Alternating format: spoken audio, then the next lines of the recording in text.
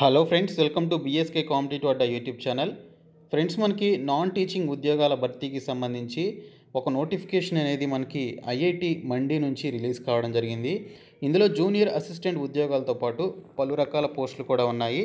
ఇక్కడ చూసుకున్నట్లయితే ఈ పోస్టులకి సంబంధించి అప్లికేషన్ ఫీ హండ్రెడ్ రూపీస్ మాత్రమే ఉంది. And SC ST candidates PWD candidates application fee కూడా పే చేయాల్సినటువంటి అవసరం లేదు. ఏదైనా డిగ్రీ పోస్ట్ గ్రాడ్యుయేషన్ డిప్లొమా చేసినటువంటి వారు ఈ పోస్టులకి అయితే అప్లికేషన్స్ పెట్టుకోవచ్చు. ఆంధ్రప్రదేశ్ తెలంగాణ అభ్యర్థులతో పాటు ఇండియన్ నేషనల్స్ అందరూ కూడా ఈ పోస్టులకి సంబంధించి అప్లికేషన్స్ అయితే పెట్టుకోవచ్చు అని నోటిఫికేషన్లో మెన్షన్ చేశారు. సో ఈ రిక్రూట్మెంట్కి సంబంధించినటువంటి కంప్లీట్ డీటెయిల్స్ చెప్తాను. ప్రతి ఒక్కరు కూడా ఈ వీడియోని లైక్ చేసి మీ ఫ్రెండ్స్కి షేర్ చేయండి. ఫ్రెండ్స్ ఈ నాన్ టీచింగ్ ఉద్యోగాలకి సంబంధించినటువంటి నోటిఫికేషన్ అనేది Indian Institute of Technology IIT Mandi నుంచి రిలీజ్ కావడం జరిగింది. ఈ సైట్లోనే మీరు దీనికి సంబంధించినటువంటి అప్లికేషన్స్ అయితే పెట్టుకోవాలి. సో దీనికి సంబంధించినటువంటి కంప్లీట్ డీటెయిల్స్ ఈ వీడియోలో చెప్తాను. ప్రతి ఒక్కరు కూడా వీడియో చివరి వరకు చూడండి. ఫ్రెండ్స్ ఈ యొక్క ఐఐటి మండి అనేది మనకి హిమాచల్ ప్రదేశ్లో ఉంది. సో హిమాచల్ ప్రదేశ్లో ఉన్నటువంటి ఐఐటి నుంచి నాన్ టీచింగ్ పొజిషన్స్కి సంబంధించి ఇండియన్ నేషనల్స్ నుంచి అప్లికేషన్స్ కోరడం జరుగుతుందని నోటిఫికేషన్ విడుదల చేశారు. ఆన్లైన్లో అప్లికేషన్స్ పెట్టుకోవాలి. మే ఐదో తేదీ నుంచి జూన్ నాలుగో తేదీలోపు అప్లికేషన్స్ అయితే పెట్టుకోవాలి. జూన్ నాలుగు అనేది లాస్ట్ డేట్ అనమాట సో ఆల్రెడీ మనకి అప్లికేషన్ ప్రాసెస్ కూడా స్టార్ట్ కావడం జరిగింది.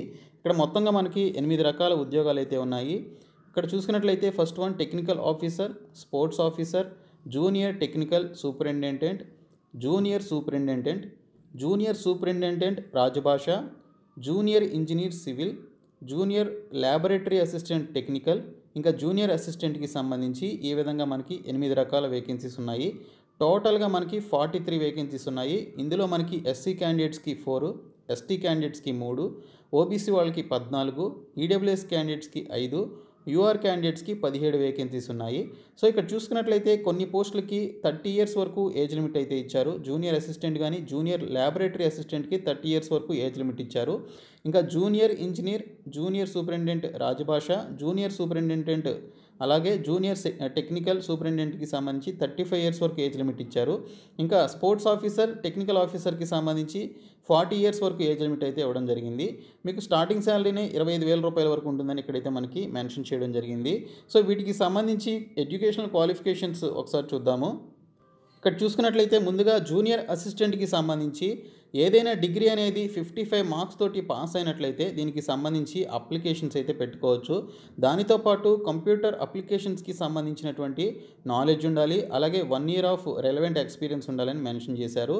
లేదా మీరు కనుక మాస్టర్స్ డిగ్రీ అనేది ఫిఫ్టీ ఫైవ్ మార్క్స్ తోటి మీరు పాస్ అయ్యి కంప్యూటర్ అప్లికేషన్స్కి సంబంధించిన నాలెడ్జ్ ఉన్నా కూడా మీరు దీనికి సంబంధించి అప్లికేషన్స్ పెట్టుకోవచ్చు. So degree with one year experience ఉన్న అప్లికేషన్స్ పెట్టుకోండి. లేదా జస్ట్ పీజీ ఆ పర్టికులర్ మాస్టర్స్ డిగ్రీ అనేది చేసిన అప్లికేషన్స్ అనేది పెట్టుకోండి అని చెప్పేసి ఇక్కడైతే మెన్షన్ చేశారు.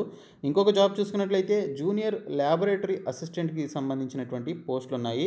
సో దీనికి సంబంధించి ఇక్కడ మనకి జూనియర్ ల్యాబొరేటరీ అసిస్టెంట్కి సంబంధించినటువంటి క్వాలిఫికేషన్స్ ఒకసారి చూసుకున్నట్లయితే diploma in relevant engineering discipline అని చెప్పేసి మెన్షన్ చేశారు. ఇంజనీరింగ్లో ఆ పర్టికులర్ డిప్లొమాలో కంప్యూటర్ ఇంజనీరింగ్ కానీ లేదా ఎలక్ట్రికల్ ఎలక్ట్రానిక్స్కి సంబంధించిన త్రీ ఇయర్స్ ఇంజనీరింగ్ చేసినా కూడా అప్లికేషన్స్ అనేవి పెట్టుకోవచ్చు. లేదా BSc degree fifty five percentage of marks తోటి ఆ రెలవెంట్ ఫీల్డ్లో కనుక మీరు చేసినట్లయితే అప్లికేషన్స్ పెట్టుకోవచ్చు. టూ ఇయర్స్ వర్కింగ్ ఎక్స్పీరియన్స్ ఉండాలని మెన్షన్ చేశారు. అలాగే కంప్యూటర్ నాలెడ్జ్కి సంబంధించినటువంటి ఈ పర్టికులర్ కంప్యూటర్ ఆఫీస్కి సంబంధించిన అప్లికేషన్స్ ఏదైతే ఉంటాయో వాటికి సంబంధించిన నాలెడ్జ్ కూడా ఉండాలని మెన్షన్ చేశారు. ఇంకా జూనియర్ ఇంజనీర్కి సంబంధించి చూసుకున్నట్లయితే సివిల్కి సంబంధించి బ్యాచిలర్స్ డిగ్రీ అనేది సివిల్ ఇంజనీరింగ్లో చేసి వన్ ఇయర్ ఎక్స్పీరియన్స్ ఉండాలని మెన్షన్ చేశారు. అలాగే diploma in civil engineering of three years duration with three years field experience అన్నారు. సో ఈ పర్టికులర్ క్వాలిఫికేషన్ ఉంటే అప్లికేషన్స్ పెట్టుకోవచ్చు. ఇంకా జూనియర్ సూపరింటెండెంట్ రాజభాషకి సంబంధించి masters degree in Hindi from a recognised university అన్నారు. సో ఈ పర్టికులర్ క్వాలిఫికేషన్ ఉంటే అప్లై చేసుకోవచ్చు. ఇంకా జూనియర్ సూపరింటెండెంట్కి సంబంధించి bachelors degree with fifty five percentage of marks with eight years relevant experience అన్నారు. అలాగే అది ఆ క్వాలిఫికేషన్ లేకపోయినా పోస్ట్ గ్రాడ్యుయేషన్లో మీరు ఫిఫ్టీ ఫైవ్ మార్క్స్ తోటి fifty five percentage of marks తోటి పాస్ అయ్యి ఫైవ్ ఇయర్స్ ఎక్స్పీరియన్స్ అయితే ఉండాలి. సో వీటికి మినిమం వన్ ఇయర్ నుంచి ఫోర్ ఫైవ్ ఇయర్స్ వరకు ఎక్స్పీరియన్స్ కూడా అడగడం జరిగింది. జూనియర్ టెక్నికల్ సూపరింటెండెంట్కి సంబంధించి ఫస్ట్ క్లాస్ బ్యాచిలర్స్ డిగ్రీ అనేది హానర్స్లో చేసినట్లయితే ఇన్ సైన్స్ రిలవెంట్ సబ్జెక్ట్లో చేసినట్లయితే అప్లికేషన్స్ పెట్టుకోవచ్చు. ఇంకా చూసుకున్నట్లయితే మనకి ఇక్కడ స్పోర్ట్స్ ఆఫీసర్కి సంబంధించి కూడా పోస్టులు అయితే ఉన్నాయి. Masters degree in physical education చేసిన అప్లికేషన్స్ పెట్టుకోవచ్చు. అలాగే టెక్నికల్ ఆఫీసర్కి సంబంధించి BE BTech in mechanical or production ఇంజనీరింగ్లో చేసి దానితో పాటు ఫైవ్ ఇయర్స్ ఎక్స్పీరియన్స్ ఉన్న అప్లికేషన్స్ పెట్టుకోవచ్చు అని చెప్పేసి ఇక్కడైతే మనకి నోటిఫికేషన్ని విడుదల చేశారు. సో ఇక్కడ చూసినట్లయితే ఈ పోస్టులన్నింటినీ కూడా మనకి కాంట్రాక్ట్ బేసిస్ మీద భర్తీ చేయడం జరుగుతుంది.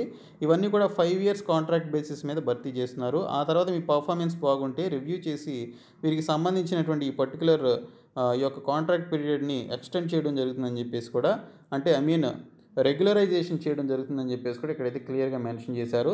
కాంట్రాక్ట్ పీరియడ్ని రెగ్యులరైజ్ చేసేటువంటి ఛాన్స్ కూడా ఉంటుందన్నమాట. కాబట్టి మీరు ఇంట్రెస్ట్ ఉంటే అప్లికేషన్స్ అయితే పెట్టుకోవచ్చు. ఇక్కడ చూసినట్లయితే వీటికి సంబంధించి మీరు అప్లై చేసుకోవడానికి మీరు పే చేయాల్సినటువంటి ఫీ వచ్చేసి హండ్రెడ్ రూపీస్ అనేది పే చేయాల్సి ఉంటుందని ఇక్కడ క్లియర్గా మెన్షన్ చేశారు. ఇంకా ఎస్సీ ఎస్టీ క్యాండిడేట్స్కి ఈ పర్టికులర్ పీడబ్ల్యూడీ క్యాండిడేట్స్ ఫీ అయితే పే చేయాల్సినటువంటి అవసరం లేదు. ఓన్లీ మిగిలినటువంటి క్యాండిడేట్స్ మాత్రమే హండ్రెడ్ రూపీస్ ఫీ అయితే పే చేయాల్సి ఉంటుందని చెప్పేసి ఇక్కడైతే మెన్షన్ చేయడం జరిగింది. సో ఈ పోస్టులకి సంబంధించి మనకి రిటర్న్ టెస్ట్ కానీ లేదా ఇంటర్వ్యూ ద్వారా కానీ ఒక రిక్రూట్మెంట్ అయితే చేసే ఛాన్సెస్ అయితే ఉన్నాయని చెప్పేసి ఇక్కడ మనకి ఎయిటీన్ ఏ పాయింట్లో మనకి మెన్షన్ చేశారు. కాబట్టి మీ కనుక qualifications with a little bit experience ఏదైతే మనకి అక్కడ మెన్షన్ చేశారో ఆ ఎక్స్పీరియన్స్ ఉన్నటువంటి క్యాండిడేట్స్ ఈ పోస్టులకి అయితే అప్లికేషన్స్ అయితే పెట్టుకోండి. సో మంచి వేకెన్సీసే ఫైవ్ ఇయర్స్ తర్వాత మిమ్మల్ని రెగ్యులరైజ్ కూడా చేయడం జరుగుతుందని మెన్షన్ చేశారు. కాబట్టి ఈ పోస్టులకి సంబంధించి అప్లికేషన్స్ అయితే పెట్టుకోండి. నేను మీకు అప్లికేషన్కి స- దీనికి సంబంధించిన అప్లికేషన్కి సంబంధించినటువంటి వెబ్సైట్ లింక్ని అలాగే ఒక నోటిఫికేషన్ పీడిఎఫ్ని డిస్క్రిప్షన్లో ప్రొవైడ్ చేస్తాను. సో డౌన్లోడ్ చేసుకుని అప్లికేషన్స్ అయితే పెట్టండి. మనకి జూన్ ఫోర్త్ అనేది లాస్ట్ డేట్ అనమాట సో ఈ వీడియోని మీ ఫ్రెండ్స్కి షేర్ చేయండి ఫ్రెండ్స్. అలాగే మన ఛానల్ సబ్స్క్రైబ్ చేసుకోండి. Thank you so much guys.